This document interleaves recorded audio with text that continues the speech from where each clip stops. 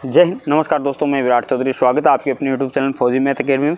दोस्तों, आज का जो वीडियो आप सभी के लिए बहुत ही स्पेशल वीडियो, जितने मेरे दोस्त एग्जामों की तैयारी कर रहे हैं, उन सभी को जैसे मैं बार बार बोलता रहता हूँ कि जिनका एस में सिलेक्शन नहीं हुआ, वो सी की तैयारी करिए। तो दोस्तों, आज के इस वीडियो में मैं आपको बताने वाला हूँ कि सी की जैसे वैकेंसी कब आने वाली है, उसके फॉर्म कब अप्लाई होंगे।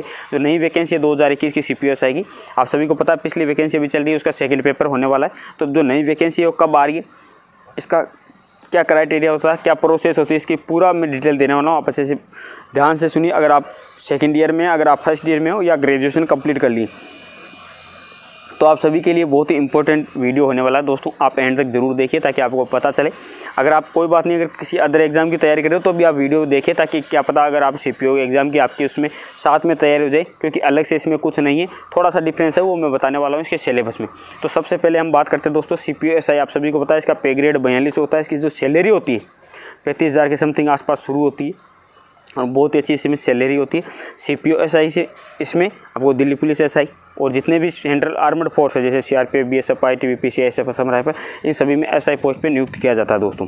तो इसमें जो हाइट क्राइटेरिया रहता है, वो मेल के लिए एक सौ पैंसठ सेमी फीमेल के लिए एक सौ साठ सेमी होता है मेल के लिए कम से कम पचपन के वेट होना चाहिए, फीमेल में कम से कम पैंतालीस के वेट होना चाहिए। लड़कों का चेस्ट वो इक्यासी से छियासी, सेम है जो फ़िज़िकल का क्राइटेरिया ये, एजुकेशन इसमें आपकी ग्रेजुएशन होनी चाहिए। आपकी जो एज है, बीस साल से पच्चीस साल होनी चाहिए, ओबीसी के लिए तीन साल, अलग से आरक्षण, एसटी के लिए पाँच साल। एस सी के लिए पाँच साल अलग से आरक्षित, यानी एस सी वाला बीस से तीस साल तक का बंदा फॉर्म भर सकता है दोस्तों।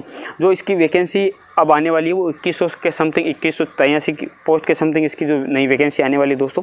तो उसके लिए अब मैं आपको बता दूँ कि जो इसकी एजुकेशन है आप सभी को पता है ग्रेजुएशन लेकिन अगर कोई सेकेंड ईयर में तो भी वो उसकी ग्रेजुएशन जैसे अगर वो ग्रेजुएशन में एडमिट ले लिया है मतलब फाइनल ईयर में एडमिट कर लिया तो भी वो इस बार की वैकेंसी में फार्म भरने के लिए एलिजिबल रहेगा, अगर वो ग्रेजुएशन इस साल कर रहा है दोस्तों।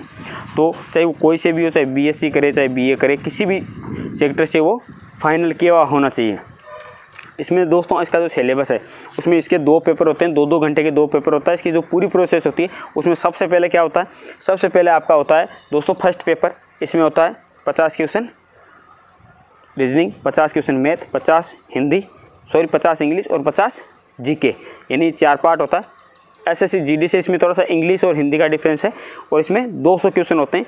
आपको दो घंटे का टाइम दिया जाता है 120 मिनट। ये इसकी मेरिट ज़्यादा अप नहीं रहती है क्योंकि समय की बहुत ही कम मिलता है, समय आपको बहुत कम मिलता है, इसलिए क्वेश्चन ज़्यादा होते हैं, इसलिए इसकी मेरिट ज़्यादा अप नहीं जाती। इसलिए अगर आप तैयारी कर रहे हो तो बहुत ही अच्छी वैकेंसी है।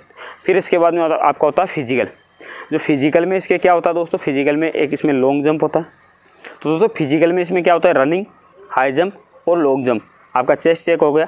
उसके बाद में दोस्तों, इस प्रकार जो सेकंड पेपर होता है, वो पूरा का पूरा 200 क्वेश्चन उसमें इंग्लिश के होते हैं। उसके लिए भी आपको दो घंटे मिलते हैं। यानी कि 200 के 200 क्वेश्चन आपके इंग्लिश के होते हैं, एक ही सब्जेक्ट के। उसके बाद में फिर आपका मेडिकल होता है, उसको फाइट करने बाद और फाइनली फिर आपका सलेक्शन हो जाता है। तो दोस्तों, इसमें जिनकी हाइट कम है, उनके लिए वैकेंसी बहुत अच्छी है।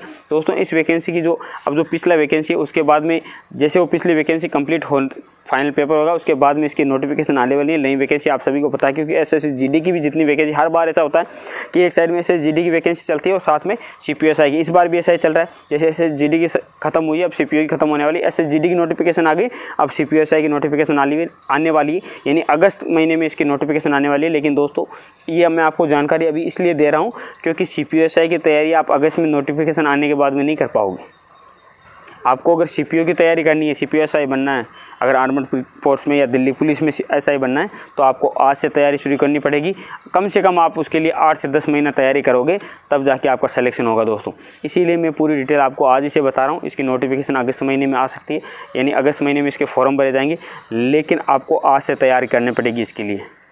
क्योंकि इसकी वैकेंसी के लिए तीन महीने की तैयारी काफ़ी नहीं होती है। एस एस में आप तीन महीने में तैयारी कर सकते हो। लेकिन सीपीओ के लिए नहीं, क्योंकि इसमें आप देखिए 200 क्वेश्चन केवल 120 मिनट फिर इंग्लिश के 200 क्वेश्चन और 120 मिनट यानी आपकी बहुत ही तगड़ी स्पीड होनी चाहिए दोस्तों। इसीलिए आज से तैयारी शुरू कर दीजिए अगर आप सी पी बनना चाहते हो। जय हिंद, जय